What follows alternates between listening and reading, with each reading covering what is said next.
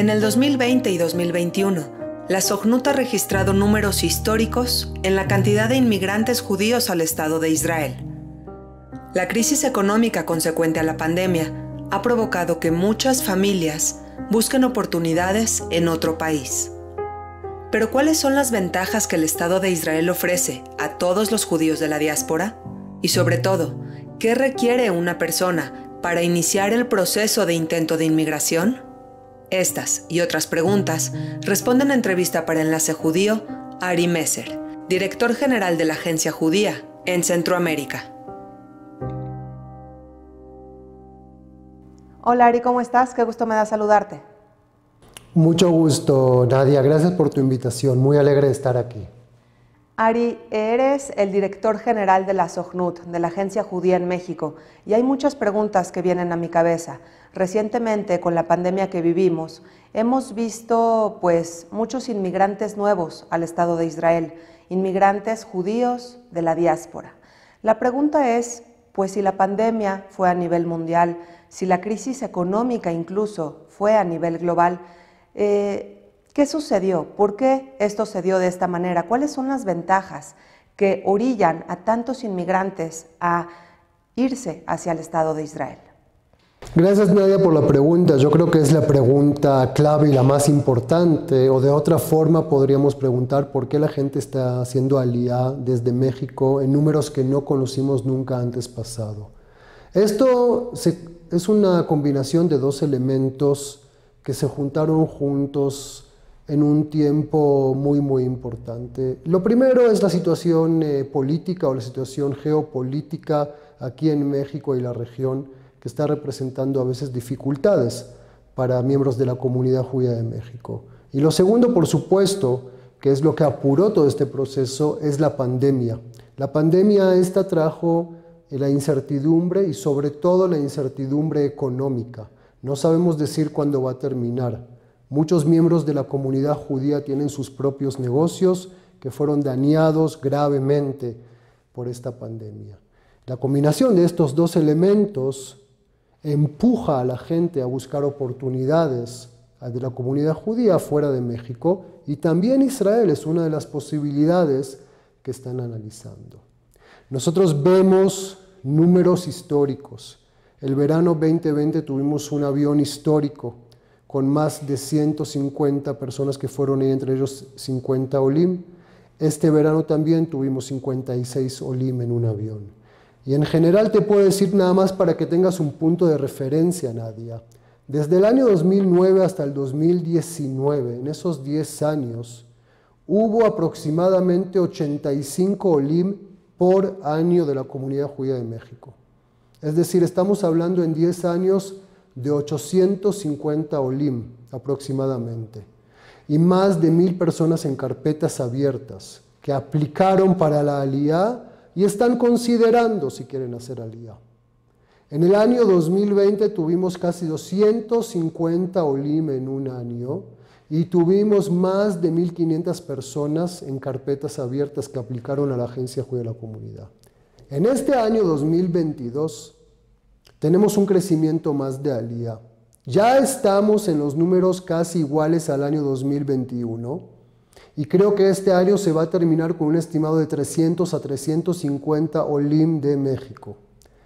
Tenemos más de mil carpetas de OLIM abiertas que representan más de 2.500 personas. Me es importante aclarar, Nadia, la gente que aplica a hacer alía abre carpetas de alía con la agencia judía no necesariamente decide hacer alía, pero sí es un indicador muy importante que nos demuestra el interés en la alía. Ahora, a la, respuesta a tu pregunta, ¿por qué? Israel representa oportunidades. Primero, Israel le da al OLE un acompañamiento importante para su migración que ningún otro país le da. Eh, recordemos que la palabra OLE significa eh, inmigrante. OLIM, inmigrantes, para el, quien no esté familiarizado con, con la palabra. Exacto. Y OLE también es una persona que sube a Israel a nivel de terminología. Entonces estos inmigrantes a Israel representan una oportunidad muy importante. Primero, cualquier persona que cabe en la definición de la ley del retorno israelí puede aplicar y emigrar a Israel si presenta todos los documentos que el Estado de Israel requiere. Entonces ya la oportunidad a nivel legal está abierta.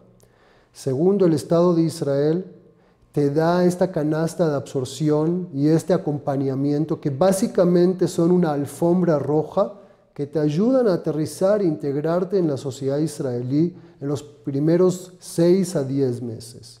La combinación de estos con el sentimiento judeo-sionista de esta comunidad y con la educación hacia Israel y con el feeling este comunitario y la conexión de muchos años hacia Israel, crearon esta ola de alía o migración a Israel. Ari, quien tiene la, intención de inmigrar al Estado de Israel, eh, algún judío de la diáspora, vamos a hablar específicamente de algún judío de México, con el intento y el respectivo procedimiento, ¿lo logra? ¿Hay una seguridad absoluta de cumplir el objetivo? El proceso de inmigración está dividido en dos eh, ejes. Uno es un proceso de inmigración que tiene eh, procesos legales igual que cualquier proceso de inmigración a otro país. Es decir, también al ser miembro de la comunidad judía, primero y antes de todo, eres un ciudadano mexicano que pide inmigrar al Estado de Israel. Para inmigrar al Estado de Israel, nosotros pedimos una serie de documentos que demuestren que están bajo la definición de la ley de retorno y cumplan con todos los requisitos que el Estado de Israel pide para poder inmigrar. Pero básicamente te puedo decir que cualquier judío de esta comunidad seguramente cumple con esos requisitos y los invitamos a los interesados a contactarse con nosotros también para empezar el proceso y también para participar en nuestras actividades informativas que tenemos. Una vez al mes tenemos un proyecto que se llama Alia TV y tocamos diferentes temas que tienen que ver con la inmigración o con el relocation a Israel, para llamarlo así, también temas legales, temas financieros, mercado laboral, educación, salud y todos los aspectos de la vida que tienen que ver con este cambio. Tenemos para la gente que ya está en preparación para el IA Ulpanim de hebreo online que les brindamos y también hacemos conexiones con organizaciones israelíes que están reconocidas por la agencia judía para apoyar en términos de integración al mercado laboral. Sí quisiera mencionar aquí que tenemos muchas, muchas colaboraciones con organizaciones en Israel bajo lo que llamamos Itahduta Olim, que es la organización de Olim en Israel. Entonces, resumiendo, Ari, pues la ayuda es importante. Tenemos por un lado un techo en los primeros meses. Eso es una gran ayuda para un nuevo inmigrante. Tenemos la ayuda, colaboración para buscarle a ese nuevo inmigrante un trabajo y además de ello, pues se cuentan con las ventajas que se cuentan en todo el país como el seguro médico, etcétera. Hablemos de otro sector, el sector de los jóvenes. Tengo entendido que para quien tiene la intención de hacer alía, es decir, de inmigrar al Estado de Israel, y hacer el ejército también puede encontrar importantes ventajas, ¿cierto? Totalmente cierto. Eh, déjame decirte, Nadia, eh, tenemos dos sectores eh, que representan la gran mayoría de los Olima Israel. El sector número uno, totalmente destacado a nivel numeral, son familias jóvenes. Muchas familias jóvenes aplicaron para hacer alía y están haciendo alía a Israel. Y el segundo sector son los jóvenes, o jóvenes universitarios o jóvenes académicos que también buscan las oportunidades en Israel. La canasta de absorción y los beneficios que cada OLE recibe dependen mucho y varían mucho de cada caso en forma particular. Pero al final de todo, el que quiera ser aliado a Israel va a recibir esa ayuda para los primeros meses. Y también los jóvenes y jóvenes universitarios tienen beneficios extras como subsidios en estudios universitarios, cursos de integraciones laborales y mucho más. Eh, nosotros analizamos caso por caso y damos todo lo que la ley israelí permite y todas las oportunidades que conocemos para que lo lee tenga la mejor absorción posible. Existe una variedad muy, muy, muy grande de programas de absorción a Israel, desde Ulpanim y Merkazé Klita hasta lo que llamamos Aliyah Yeshirah, que es Aliyah directa. Y verdaderamente, otra vez, invitamos a cualquier interesado a empezar a explorar e investigar esta decisión. Sí quisiera agregar, Nadia, que la decisión de hacer alía es una decisión personal y familiar, es una decisión de vida, es un cambio de vida y representa muchos desafíos también y dificultades como cualquier proceso de inmigración que estamos viviendo. Y al final de todo, la responsabilidad por la absorción correcta y la integración al Estado de Israel y a la sociedad israelí depende de la actitud del nuevo inmigrante y su familia. A diferencia de los programas de la agencia judía que nuestros chavos van todos los años y tienen una duración de 5 a 10 meses y al final regresan a México y están totalmente acompañados de la mano, aquí es importante entender que esto no es un programa Israel es una inmigración. Y al final de todo, te tienes que despertar después de esos seis, ocho meses, ir a buscar tu trabajo, ir a buscar tu vida dentro de Israel. El mercado laboral israelí es un mercado lleno de oportunidades por un lado y por otro lado muy competitivo, porque es el país de los, de los judíos. Así que hay que estar muy, muy atento y listo a estas oportunidades. Yo siempre les digo a los candidatos de Alía que hablo y les trato de presentar todo el panorama para que los mismos candidatos y las familias tomen la decisión basada en la situación lo más real posible. Quisiera agregar un punto más, Nadia. Hubo todo tipo de dudas y preguntas sobre temas de seguro médico. Quiero aclarar, cualquier olé que hace Alía Israel tiene que tener una membresía en uno de los que se llama Kupot Holim de Israel, uno de los seguros médicos. El seguro médico israelí es público. Cualquier ciudadano israelí lo recibe a diferencia de México. La educación israelí es pública casi en su mayoría. Cualquier ciudadano israelí se merece esa educación y el nivel de educación es muy alto y el nivel de medicina pública es muy alto. Ari, seguro médico eh, incluido, eh, educación gratuita de alto nivel, son en realidad muchas, muchas ventajas, incluso clases gratuitas de hebreo para quien no conozca el idioma. Eh, ¿Cuáles son las dificultades entonces? cuando tú ahorita en este momento estás teniendo tanto contacto con tantos inmigrantes, ¿cuáles tú les presentarías como las principales dificultades a lo largo del proceso? Excelente, es decir, es una excelente pregunta. Aquí hay eh, varias dificultades eh, que hay que poner, yo llamaría desafíos. Uno es la integración al mercado laboral. Hay que entender que el mercado laboral israelí es muy diferente al mercado laboral mexicano. Hace falta un proceso de adaptación, de integración a ese mercado laboral. Hay que ver cuáles son las profesiones que son las más dominantes en Israel y cuál es el desarrollo del mercado israelí hacia el futuro. Sobre todo si eres un papá o mamá de familia ya de nuestras edades de 40 a 50 años. No es para asustar, se puede integrar y la gente encuentra trabajo en Israel y construye su vida. Tenemos muchos Solim de América Latina y de México que tuvieron un éxito total en su absorción y también tenemos Solim que no lo tuvieron. Pero el mercado laboral y la integración al mercado laboral es un tema importante o lo que llamamos en, hebreo la parnasá. Y el segundo es el idioma, el hebreo. El idioma hebreo es un idioma que al fin y al cabo lo hablan aproximadamente 9 millones de personas en el mundo.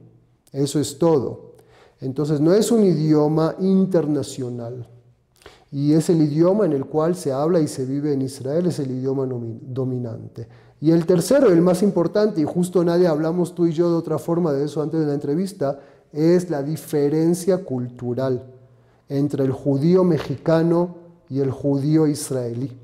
Esa adaptación a lo que nosotros llamamos la cultura israelí es algo que también lleva tiempo y hay que tener la paciencia, hay que estar abiertos y flexibles para poder integrarse a la sociedad israelí.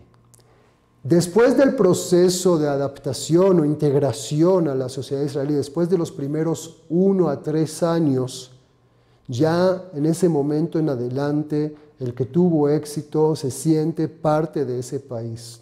Es un sentimiento muy especial ser un judío en un país de judíos, a donde eres la mayoría, a donde a la mañana abres la radio, escuchas canciones en hebreo, si lees los websites son en hebreo, ves la bandera de Israel en todos los lados. Esa es la ventaja. Bueno, pues vale la pena enfrentar los desafíos y hacer el intento frente a todas las ventajas que el Estado de Israel ofrece para toda la población judía en el mundo. Ari, te hago la pregunta para finalizar la entrevista quizá más importante. Yo sé que cada caso es específico, pero si pudieras darnos una lista de requisitos, ¿qué es lo que se necesita para intentar inmigrar al Estado de Israel?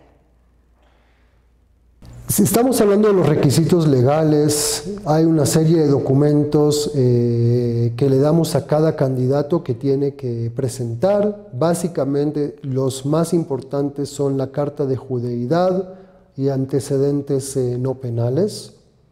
Eh, esos son los dos más importantes y hay una serie más. Pero para no entrar en ese detalle, porque es un detalle muy complejo y, verdaderamente depende si hay gente que es casada y divorciada, menores de edad, gente indiscapacitada, verdaderamente que es un tema muy complejo. Yo creo que el requisito número uno y más importante es entender la magnitud de la decisión, que es una decisión de vida, entender que vamos a pasar un proceso también legal y también personal y familiar para llegar a Israel, entender que va a haber un proceso con muchos desafíos que se pueden lograr y cumplir de integración y absorción dentro del Estado de Israel y la sociedad israelí, y entender que es un cambio de vida, y venir con esa voluntad y con esa energía y con esa determinación para poder lograrlo. Pues colocamos entonces eh, tu contacto para quien quiera más información, para quien tenga dudas al respecto y tenga el interés de hacer este importante cambio en la vida.